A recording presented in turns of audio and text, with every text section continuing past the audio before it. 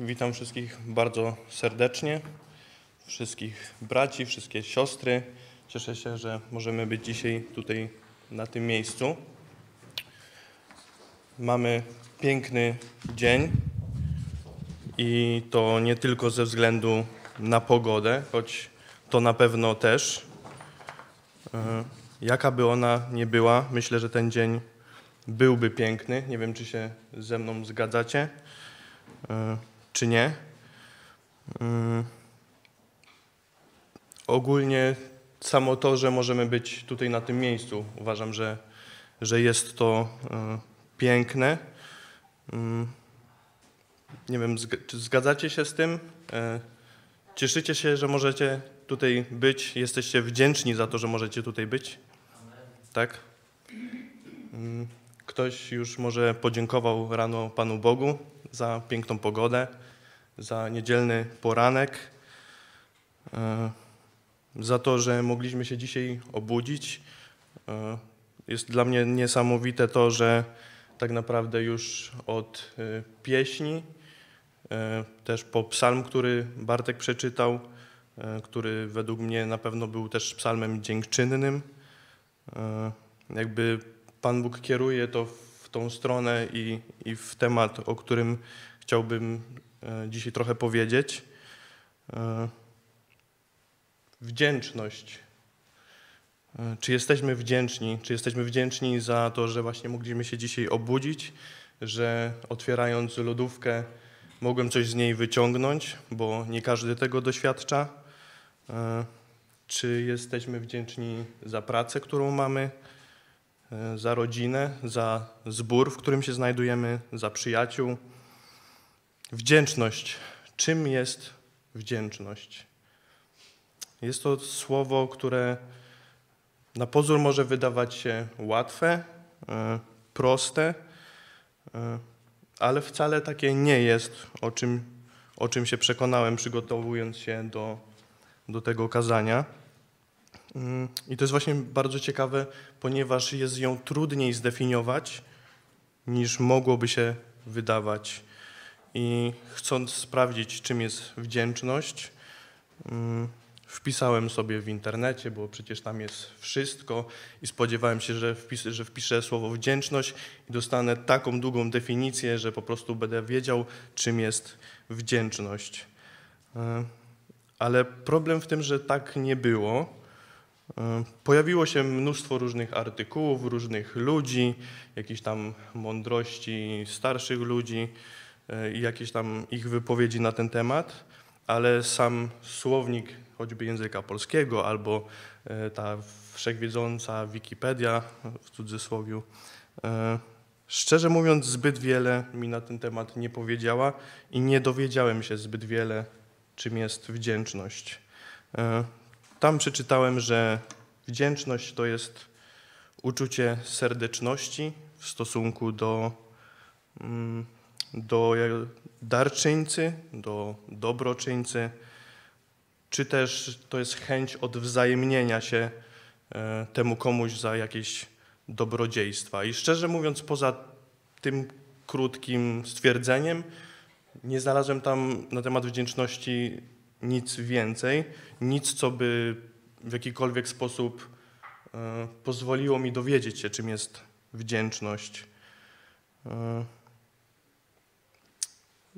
Nie dowiedziałem się z tego właśnie zbyt wiele i to pokazuje nam, że wdzięczność jest czymś niekoniecznie łatwym do zdefiniowania i może kryć w sobie e, z jednej strony wydaje, może nam się wydawać, że nie kryje w sobie zbyt wiele, a z drugiej strony może ona kryć w sobie więcej, niż mogłoby się nam wydawać.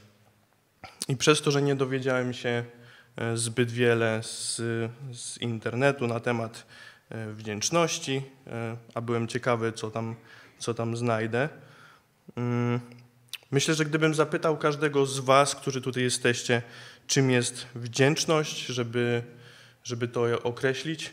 Myślę, że każdy z Was podałby e, jakąś swoją definicję e, wdzięczności. Mm, I myślę, że, że ona by była na podstawie tego, co już przeżyliśmy w swoim życiu I myślę, że on, mimo to, że one by się różniły, wiele aspektów mogłoby być podobnych. Myślę, że one by się gdzieś tam między sobą przeplatały, by się trochę powtarzały. Mm, wdzięczność jest na pewno czymś więcej niż tylko uczucie, uczucie, o którym e, wyczytałem e, choćby w tej Wikipedii. Ale żeby nie poprzestać też na, na samej definicji z internetu, pozwoliłem sobie zapytać kilku osób o to, czym jest dla nich wdzięczność. I przyznam, że odpowiedzi, które otrzymałem, były dla mnie bardzo ciekawe. Z jednej strony one były różne, z drugiej strony były trochę podobne do siebie i, i gdzieś przeplatały się właśnie ze, ze sobą, mm, nawiązywały do siebie i okazały się być zdecydowanie bogatsze niż to, co znalazłem e, w internecie na ten temat, e, to co było w słowniku czy, czy na tej Wikipedii.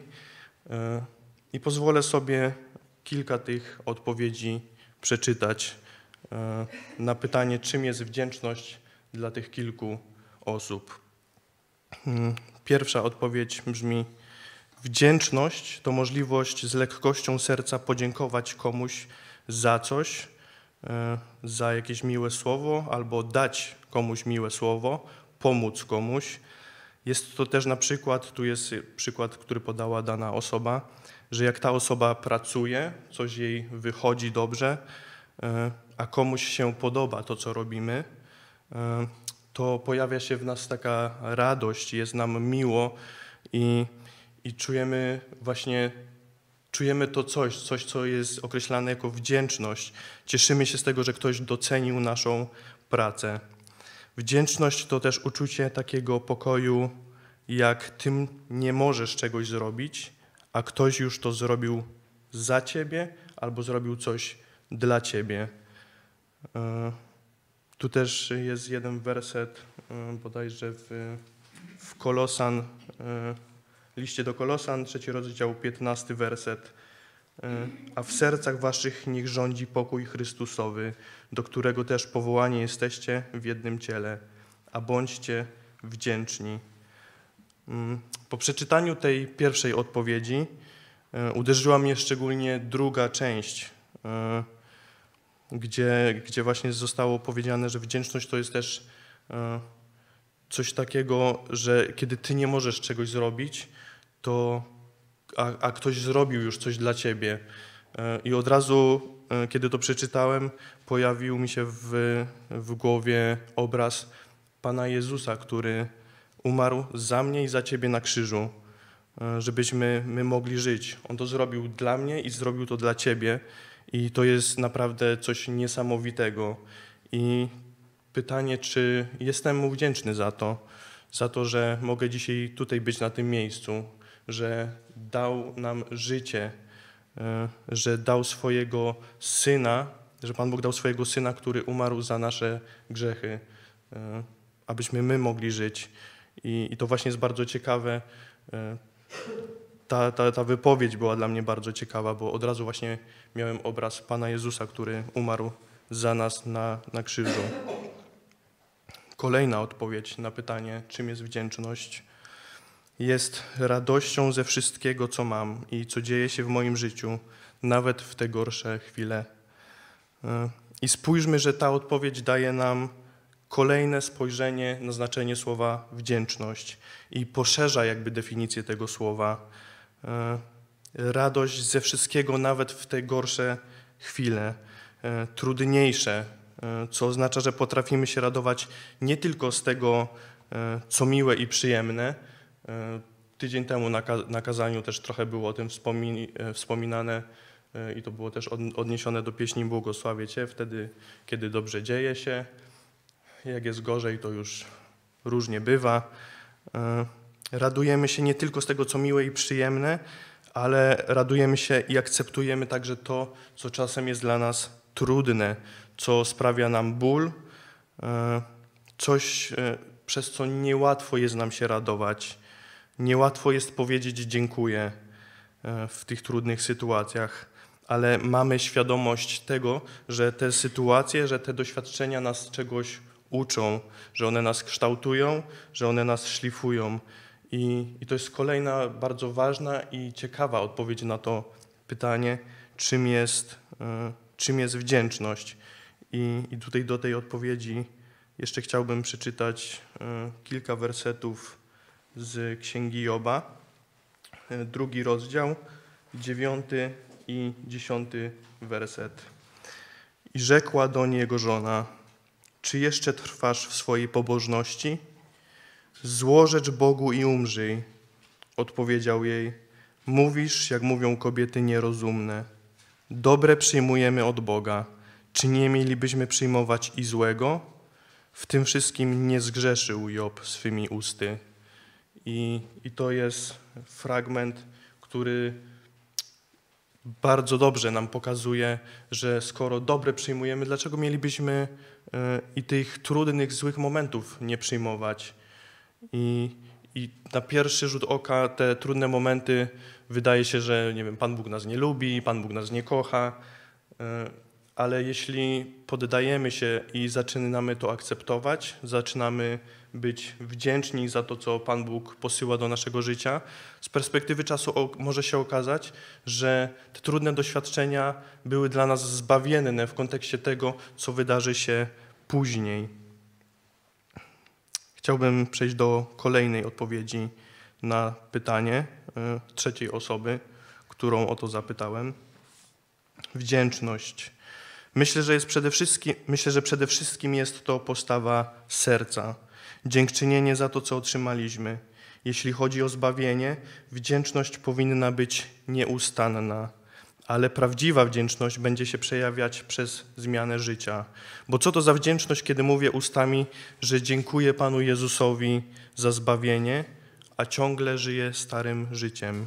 To jest obłuda i kłamstwo. Postawa wdzięczności będzie prowadzić do zmiany, bo wiem, że to, co mam, kim jestem, co mogę zrobić, zawdzięczam Bogu. Brak wdzięczności powoduje gaszenie Ducha Bożego. Biblia uczy nas, że mamy dziękować za dobre i za złe. To się już odnosi też, możemy zobaczyć do poprzedniej wypowiedzi.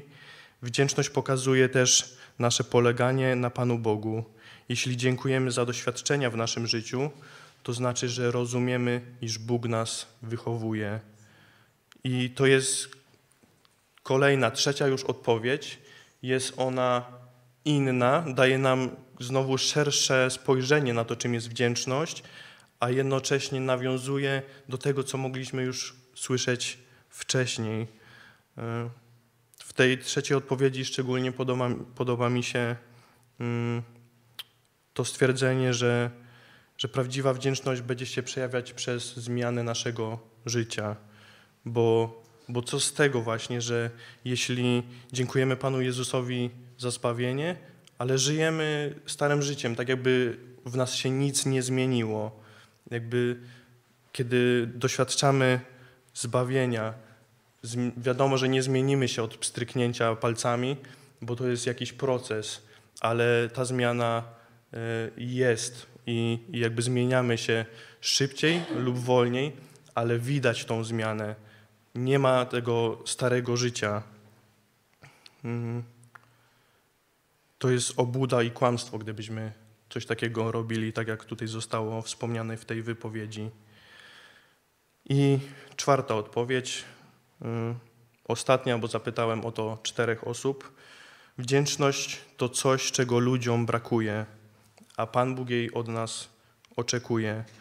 Biblia uczy nas tego, abyśmy byli wdzięczni. Umiejętność, jest to umiejętność docenienia, że ktoś coś dla mnie zrobił i ile ktoś włożył w to pracy, ile ktoś włożył w to serca. I zobaczcie, że przeczytałem cztery odpowiedzi, e, cztery odpowiedzi osób i zobaczmy, jak bardzo poszerzyła nam się definicja tego, czym jest wdzięczność. Że jest ona czymś więcej niż uczuciem, o którym przeczytałem E, w internecie. Jest, jest, to, jest to zdecydowanie coś więcej. Mm, jeśli przy czterech osobach nam tak bardzo rozwinęła się definicja wdzięczności, to co by było, gdyby teraz każdy z nas tutaj odpowiedział na to, czym jest dla, nie, dla niego, dla niej wdzięczność. I, nie chcę dzisiaj tworzyć żadnej definicji tego słowa, e, ani no nie chcę jakby tworzyć tego, czym jest wdzięczność i tego się trzymajmy, ponieważ defi definicja wdzięczności myślę, że kształtuje się w każdym z nas, kiedy idziemy przez życie, kiedy zagłębiamy się w Słowo Boże, e, wtedy, kiedy jest dobrze i pięknie, ale też wtedy, kiedy przychodzą doświadczenia, kiedy przychodzą różne próby, e, trudności. Jesteśmy wtedy szlifowani i może nie mamy najmniejszej ochoty okazywać tej wdzięczności, ale przez poznawanie Słowa Bożego, przez e, postawę, jaką widzimy e, przez Pana Jezusa, mm, próbujemy łamać sami siebie i próbujemy dostrzegać nawet w tych najtrudniejszych i najgorszych momentach coś pozytywnego. E, potrafimy podziękować Panu Bogu za te trudne doświadczenia, bo wiemy, że nic się nie dzieje w naszym życiu bez przyczyny. Wspólnie zobaczyliśmy, że e, zobaczyliśmy, czym jest wdzięczność według kogoś. E, te kilka wypowiedzi, też to, co piszę w internecie, ale czym jest wdzięczność według Ciebie? Czym dla Ciebie jest wdzięczność? Jak jak definiujesz ją w, w swoim życiu, patrząc w Słowo Boże, e, w to, przez, to, przez co przechodzisz w swoim życiu? Czy temat wdzięczności w Twoim i moim życiu jest świeży? Czy jest aktualny? Czy może został gdzieś już dawno zapomniany i, i jakby został już gdzieś w tyle? Jakby nie ma tego tematu każdego dnia. I ktoś by mógł powiedzieć, co on chce od nas. Przecież, przecież mi się należy. Nieraz słyszymy od kogoś, że coś się komuś należy. Należy mi się, żebym miał pieniądze, żeby mi się dobrze wiodło. E, ja sobie na coś zapracowałem, więc jest moje, więc należy mi się, żebym dostał za to jakieś właśnie wynagrodzenie należy mi się dom, należy mi się samochód, należy mi się, żebym miał sporo bliskich osób i, i, i przyjaciół. Skoro już tutaj jestem na tym świecie yy, i coś robię, więc i tak mi się należy. Yy, no niestety, ale jeśli ktoś tak uważa, to muszę, muszę zmartwić, bo, bo nic mi się nie należy. Tak naprawdę nic mi się nie należy, nic nam się nie należy, ponieważ co masz, czego byś nie otrzymał. To, co mamy w naszym życiu, to jest coś, co otrzymaliśmy od naszego Boga, od naszego Stwórcę.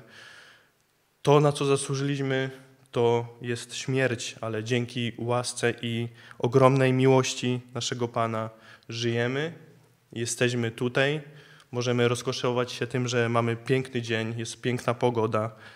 E, i po prostu, czy potrafimy okazać wdzięczność za to, że, że mamy tak wiele, że niczego nam nie brakuje, że mamy taki dobrobyt. Hmm. Pan Jezus umarł za nas na krzyżu. Czy jesteśmy wdzięczni, że to nie my musieliśmy zginąć, że żyjemy? Jak wielka jest to miłość, jaką okazał nam Bóg czy, czy potrafimy mu się, e, czy potrafimy mu podziękować za to? Czy, czy doceniamy to, co się wykonało tam na krzyżu? Czy jest w nas ta wdzięczność? Czy dziękujemy za to, a może zapominamy o tym, że coś takiego się stało i żyjemy, jakby nigdy nic się nie stało, jakby to nie miało żadnego większego znaczenia? Czy dziękujemy za tą łaskę, jaką nam okazał Pan?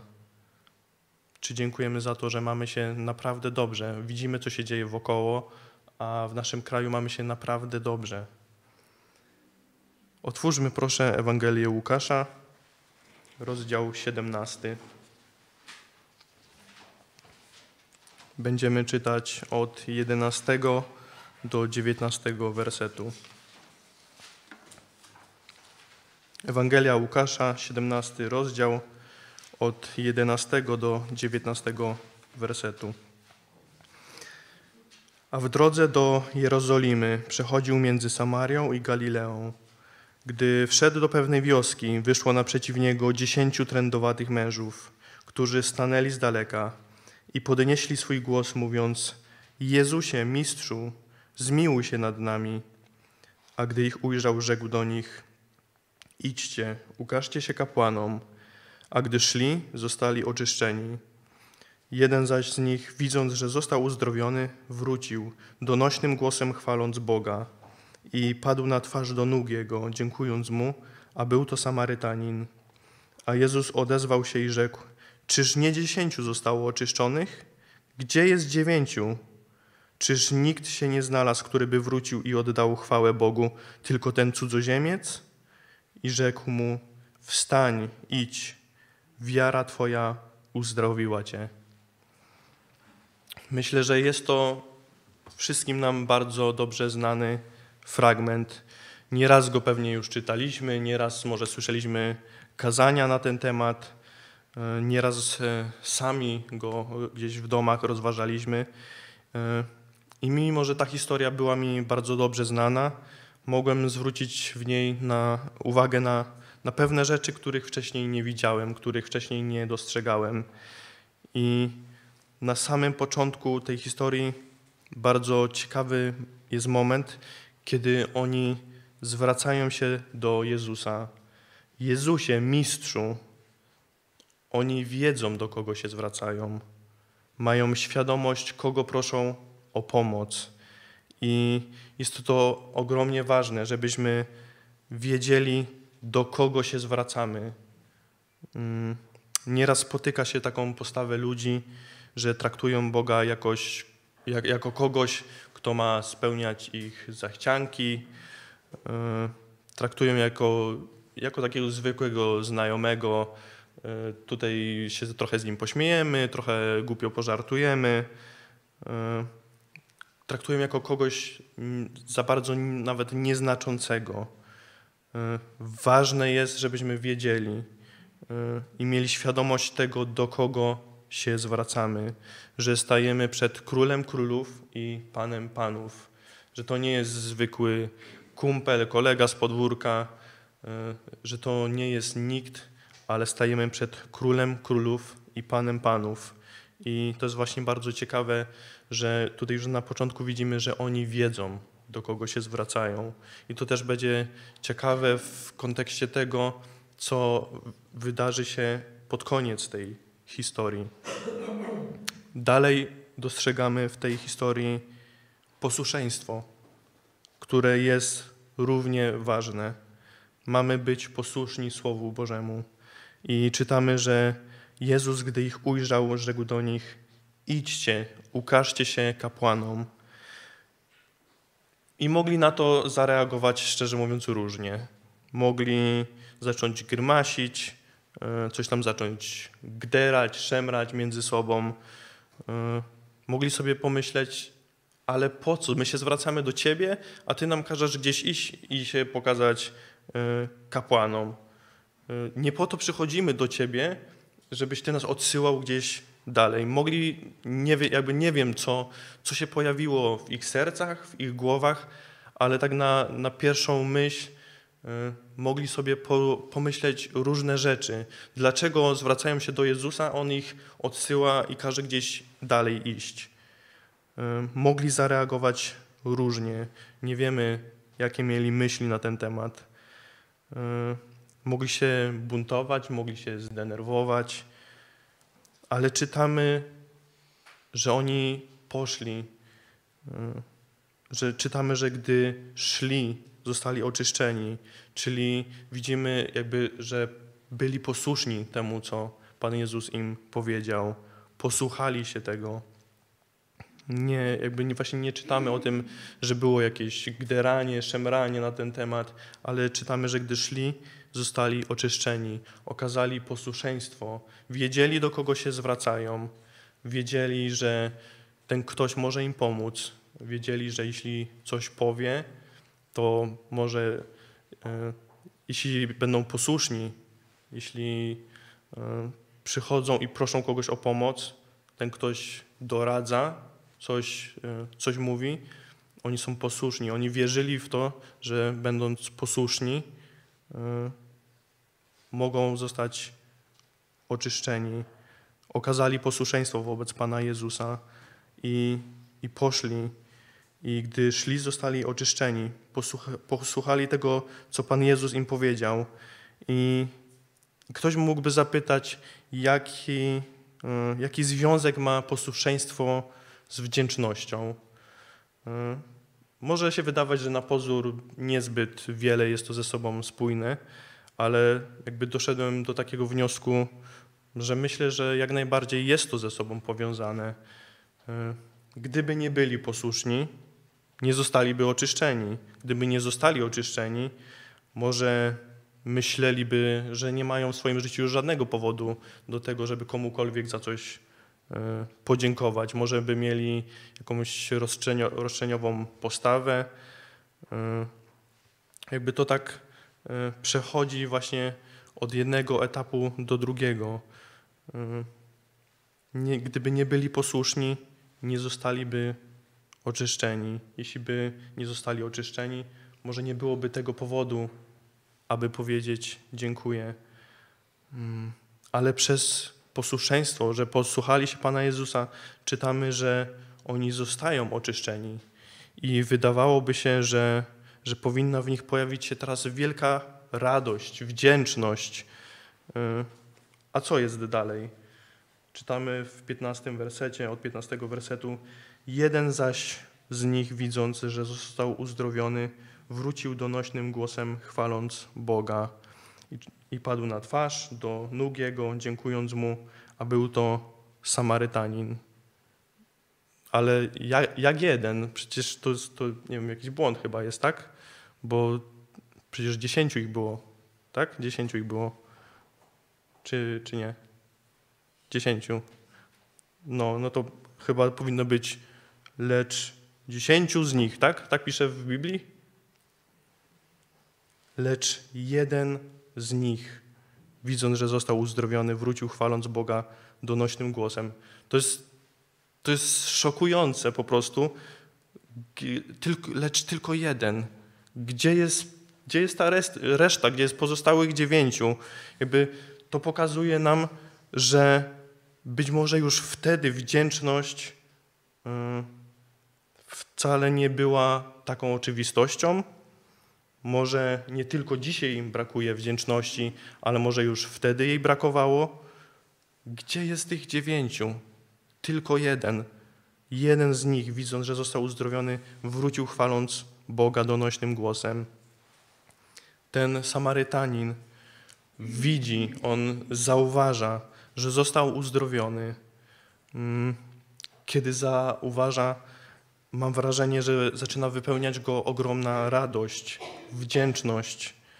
E, kiedy tak jakby próbowałem sobie wyobrazić tego Samarytanina, e, to sobie go wyobrażałem, że, że zawraca i udaje się do Jezusa radując się ogromnie, ciesząc się, podskakując z tej radości, śpiewając na głos, modląc się, e, bo po prostu on widzi, że został uzdrowiony. I jakby wyobrażam sobie właśnie takiego przepełnionego radością, energią, że po prostu jest tak bardzo wdzięczny za to. I on wraca, e, przychodzi do Jezusa, wielbiąc, wielbiąc go, pada na twarz i dziękuję mu. Jest naprawdę wdzięczny. On po prostu widzi, że, że został oczyszczony.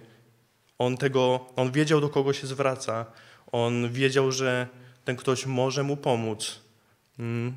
Okaz, okaz, okazał, ogólnie oni okazali posłuszeństwo, ale on zauważył, że został oczyszczony i, i nie poszedł gdzieś dalej, bo wiedział, że wcale nie musiał być oczyszczony, ale on zawrócił i, i z taką wielką radością wraca i wielbi i, i pada na twarz i okazuje wdzięczność. Gdzie jest dziewięciu? Nie znalazł się nikt więcej, tylko ten cudzoziemiec, Samaryta, Samarytanin. Samarytanin został oczyszczony w zasadzie jak cała dziewiątka jeszcze, która była z nim bo czytamy, że zostali oczyszczeni.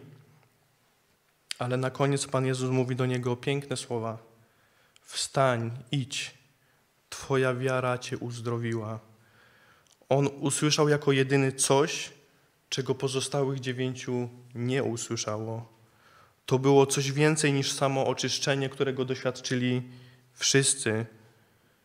On jeden, jeden z tych dziesięciu usłyszał: Twoja wiara Cię uzdrowiła. To było coś znacznie więcej niż to, czego doświadczyli wspólnie.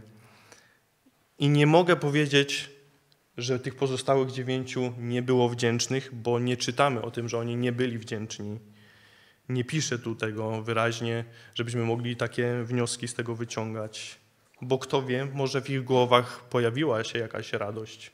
Może dostrzegli to, że zostali oczyszczeni. Może nawet przeszło im przez myśl słowo dziękuję, ale oni nie wrócili, aby powiedzieć o tym. Y, nie wrócili, aby wyrazić to na głos, aby wprost Panu Jezusowi powiedzieć dziękuję. Może nie chcieli czasu tracić, może już mieli inne myśli, inne plany, może już obiad był postawiony, już nie chcieli się wracać. Spójrzcie, że wcześniej mówiliśmy o tym, że ważne jest to, aby wiedzieć, do kogo się zwracamy. Oni wiedzieli, do kogo się zwracają, ale czy wiedzieli, komu podziękować? Komu okazać wdzięczność za to, że zostali oczyszczeni? Może im gdzieś przewinęło się to w głowie, ale nie wyrazili tego, nie dali nic z siebie, aby okazać wdzięczność. I tu jest kolejny aspekt wdzięczności. Wdzięczność to także coś, co wyrażamy, co okazujemy. E, nie wiem, ktokolwiek, ktokolwiek z Was, Tomek mógłby dla mnie coś dobrego zrobić. E, I zamiast przyjść do niego i mu powiedzieć: Dzięki Tomek, że pomogłeś, że zrobiłeś, no to ja sobie w głowie pomyślę: Dzięki Tomek. Ale jakby nie przyjdę do niego z tym, żeby, żeby okazać mu tą wdzięczność, że, że czegoś doświadczyłem, że w jakiś sposób mi pomógł. I tylko po prostu sobie gdzieś tam w sobie y, powiem: Dzięki Tomek, że mi pomogłeś, że, że mogłem czegoś doświadczyć. Nie, nie powiem tego na głos, nie powiem jemu tego wprost. Mm. Ktoś by mógł sobie pomyśleć, że no coś chyba jest z nim nie do końca w porządku. Nie wiem, brak jakiejś kultury w ogóle, że, że robię coś dla niego, a on nie okazuje w ogóle żadnej wdzięczności. I, i albo przyjdzie i delikatnie mi zasugeruje, że no, zachowałeś się trochę nie w porządku, może wypadałoby powiedzieć dziękuję, albo po prostu zostawi to i na drugi, na drugi raz już nie będzie chciał mi pomóc, bo, bo widzi, że on coś dla mnie robi, poświęca swój czas. Yy, ogólnie jakby poświęca całego siebie i robi coś e, dla mnie, a ja nawet nie jestem w stanie powiedzieć mu wprost dziękuję. Nie potrafię okazać mu tego, że jestem naprawdę wdzięczny. I, i gdyby nawet przyszedł i, i zasugerował mi, że no może, nie wiem, by wypadało w jakiś sposób okazać wdzięczność, no to ja bym mu odpowiedział, no wiesz, ale ja ci podziękowałem, ale w głowie, nie? To jest, ja pokazałem wdzięczność, ale po prostu sobie o tym pomyślałem. No, to z jednej strony brzmi śmiesznie, a z drugiej strony brzmi nawet żenująco po prostu. Jakby to taka postawa nie powinna mieć miejsca. Wdzięczność to właśnie także jest coś, co powinniśmy wyrażać. I, i wiecie, jest to no naprawdę ważne. Pamiętajmy o tym przede wszystkim w relacji z naszym Ojcem, który jest w niebie. Zrobił dla nas tak wiele. Y, wcześniej w tej pierwszej bodajże wypowiedzi wspomniałem, że, że pojawił mi się właśnie ten obraz Pana Jezusa, który umarł za nas na, na krzyżu.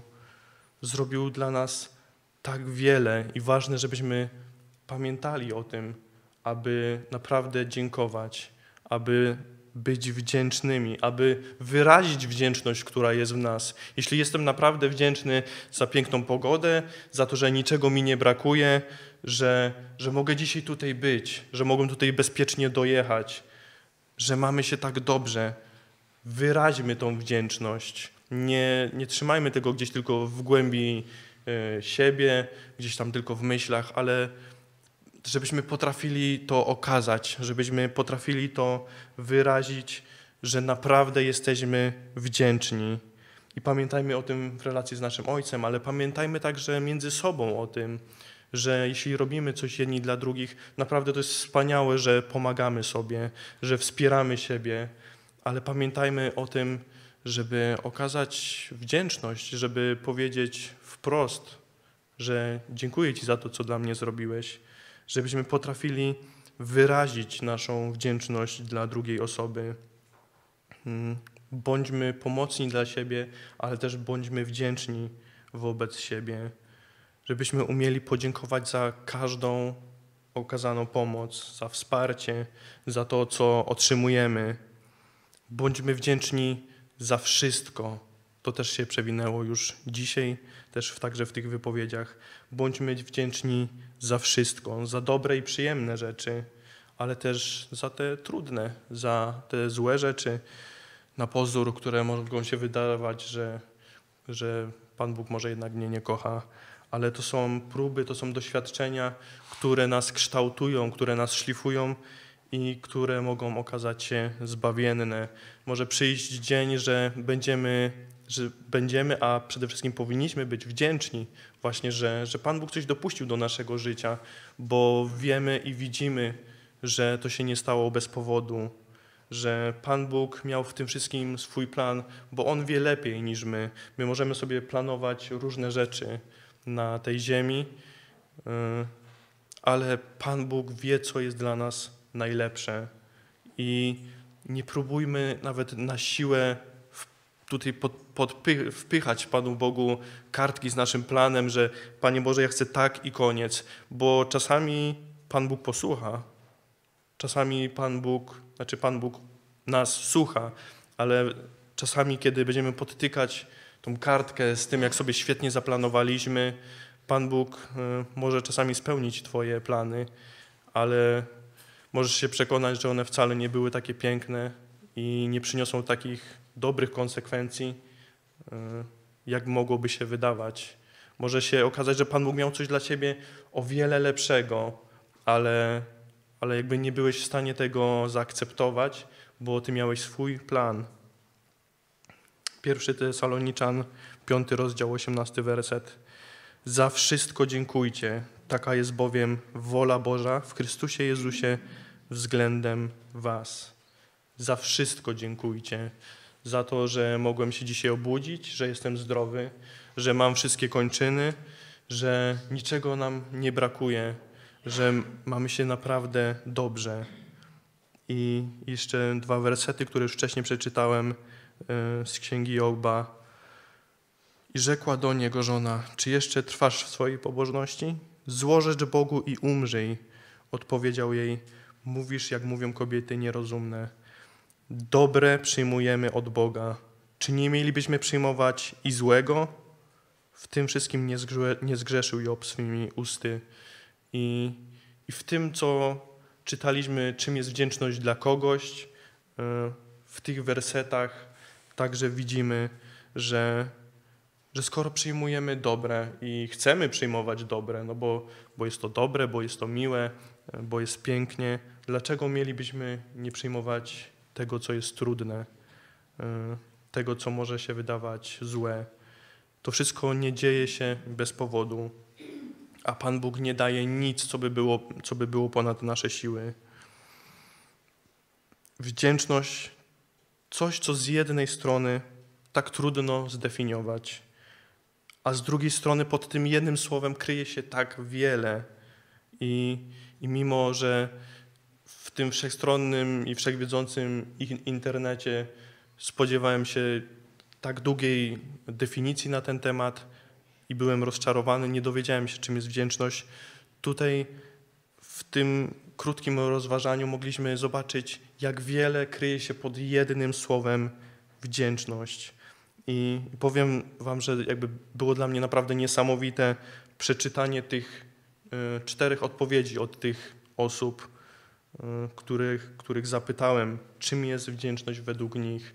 Jakby to pokazało mi dużo szersze spojrzenie na, na, na jedno słowo, na to, że słowo wdzięczność jest naprawdę, można, jest, nam- kryje w sobie tak wiele, jest po prostu naprawdę szerokie.